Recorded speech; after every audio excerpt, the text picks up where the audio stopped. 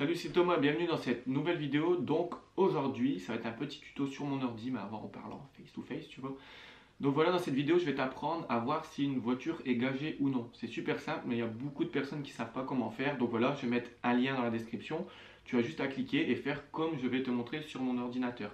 C'est super simple et ça va te permettre tout simplement bah, de voir l'état de la voiture, si elle est gagée, s'il y a des choses sur la voiture, etc. C'est super simple, mais je préfère quand même t'expliquer pour que tu saches le faire et que tu puisses aussi, bah, pourquoi pas expliquer à des membres de ta famille ou tes cousins, etc. pour qu'ils sachent aussi. Donc avant bah, de passer sur mon ordinateur, moi je t'invite à t'abonner à la chaîne YouTube si ce n'est pas encore fait. Ça va me permettre vraiment d'évoluer et toi d'avoir toutes mes nouvelles vidéos et partage, mets un like, etc. Tu connais la chanson.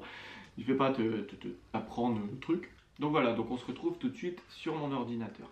Donc voilà, comme tu peux le voir, on est sur mon ordinateur, donc ça va être assez rapide. Donc le lien est dans la description, tu as juste à cliquer pour euh, avoir accès au site pour le certificat de non-gage, tout simplement.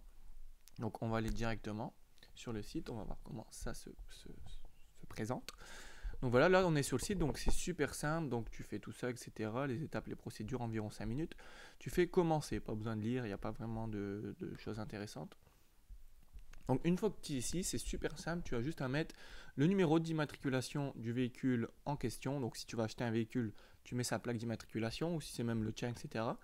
Donc voilà, ensuite tu mets la date de première immatriculation du véhicule, euh, la date du certificat d'immatriculation, c'est tout en bas de ta carte grise. Donc euh, voilà, c'est marqué certificat d'immatriculation et la date. Tu as juste à le mettre dessus.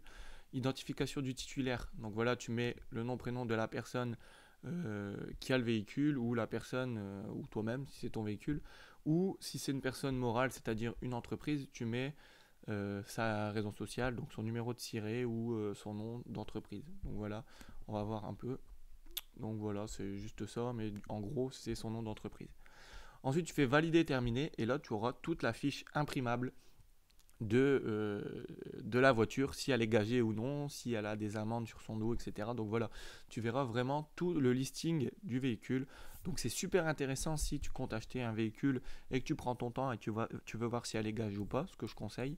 Et voilà, moi je te conseille ce petit site, c'est super important. Il y a des personnes qui ne savent pas comment faire, donc voilà, je suis très heureux de vous apprendre comment faire et au moins ça permettra à des gens de ne plus se faire arnaquer tout simplement. Donc voilà, on se retrouve dans en face-to-face dans deux secondes. bonjour, on revoit ma tête enfin.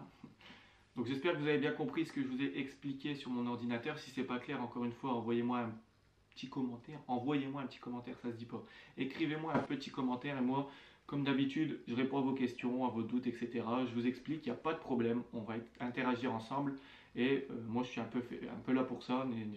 N'hésitez vraiment pas. Je réponds à tous vos commentaires. Donc encore une fois, abonne-toi à la chaîne YouTube si ce n'est pas encore fait. Partage la vidéo, mets un petit like. Et voilà. Même si tu as des sujets de vidéo, si tu as des choses que tu comprends pas ou que tu as eu vraiment des... un problème sur des choses, n'hésite pas aussi à me le mettre en commentaire pour que j'en fasse une vidéo et que j'aide aussi des personnes qui sont dans ton cas. Voilà, c'était Thomas. À la prochaine pour une prochaine vidéo. Ciao